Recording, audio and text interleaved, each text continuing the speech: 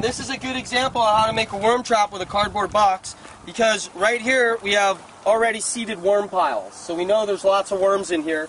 We've let them go in here. If you bring the camera up close to this, um, we've taken the bin with the red, the red worms that people raise in the bin and we've actually introduced them into the ground there. So what they're doing is they're chewing up these compost piles and they're big and fat and healthy and they're permeating the sublayers of the soil right here and bringing nutrients to all of our plants here.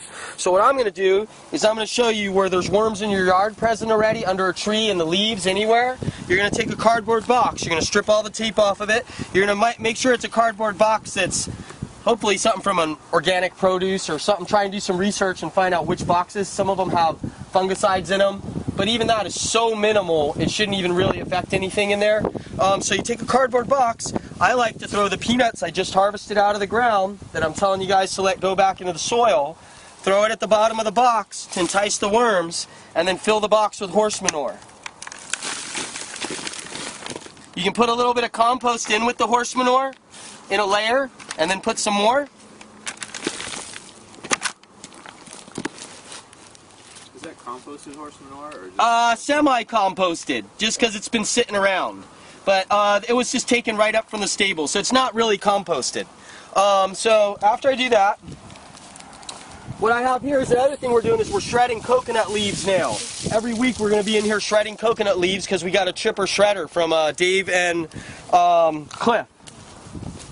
So I put some coconut shreddings on the top to cap it, and I just keep it wet. So what we're going to do is we're going to keep an eye on that. Somebody write the date down, and we're going to see how long before that thing is at. Yeah, we're going to leave this for a few weeks, and we're every time we come in, we're going to monitor it. And we're going to start counting our worm numbers that come into it, and we're going to see what kind of worms we attract to it. We have three different types of worms left here.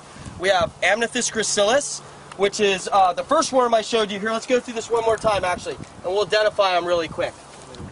This worm right here, if everybody can step up to me close, this is a red worm. You guys hear the term red wriggler a lot, but there's several types of red worms. Red worms are usually subsurface worms. They live on the surface and they travel underneath the surface leaf litter and they bring it into the first few inches of the soil. They incorporate organic matter into the surface of the soil and minerals. This is called Fetida is the name of this worm. And he's identifiable by one major thing that separates him. If you look at the bottom, he's got a flat underside, where the other red worm, blue, Waimanalo blue, is completely round. This guy actually is almost square shaped. He's got a flat bottom, and he's got a really yellow tail, and he's red. A Waimanalo blue won't be as fat, it'll be more of an even shape all the way through. It'll still have the fat thing, but it'll be round its entire body, and it will have a bluish sheen to it.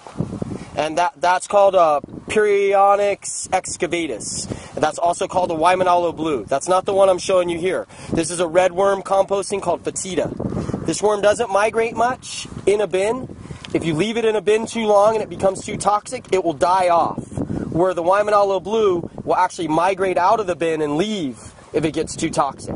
So it's good to use them all. I have these set up so they can also migrate in and out of the bins, and by raising them in the piles, they can move away if it gets too hot or toxic for them. They can move wherever they want to to make it uh, happen for themselves. And these worms are the rainbow sheen worm you see in your yard that gets really big. You see them in your garden a lot. This guy goes 15 feet down and makes vertical tunnels. These tunnels allow for uh, roots to penetrate into the mineral zone because they have less resistance. Excuse me, they channel water as well.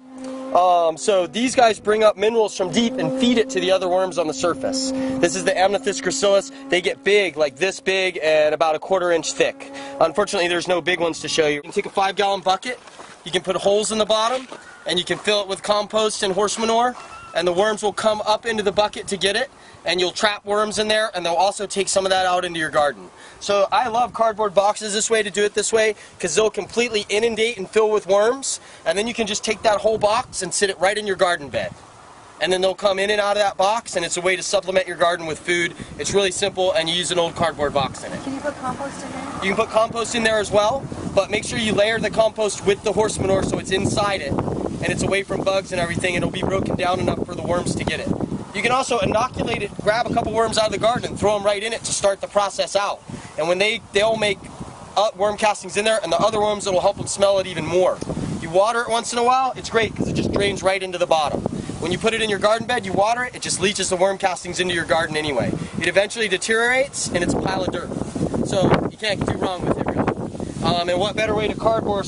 Most of the time if you lay cardboard down and you're trying to compost it, it doesn't get good saturation or it blows away or it's just laying down everywhere and you have to cover it with something else. When it's in a box like this, it's always wet all the way around it and it breaks down really nice and evenly. When you're done with it, what you do um, is you can take a box like this, it's already been filled with worms, you've had it sat up here, it's got tons of worms in it. Um, basically,